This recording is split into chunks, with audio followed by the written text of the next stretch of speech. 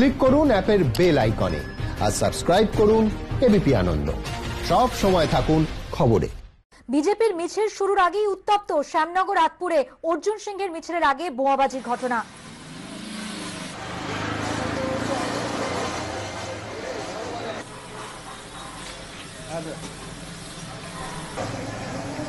কথা বলব আমাদের সঙ্গে রয়েছে আমাদের প্রতিনিধি সমীরণ পাল। সমীরণ, ঠিক কি হয়েছে? কি পরিস্থিতি?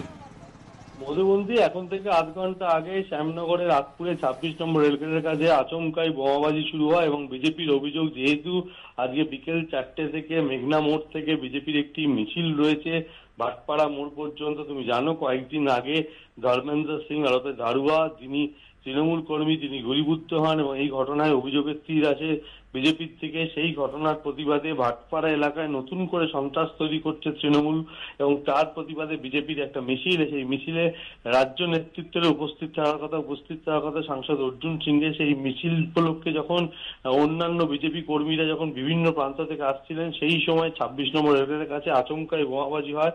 বোমাবাজি ঘটনায় বিজেপির পক্ষ থেকে দাবি করা হয়েছে বেশ কয়েকজন আহত হয়েছে এবং এই ঘটনার জেরে পরিস্থিতি উত্তপ্ত হয়ে উঠেছে।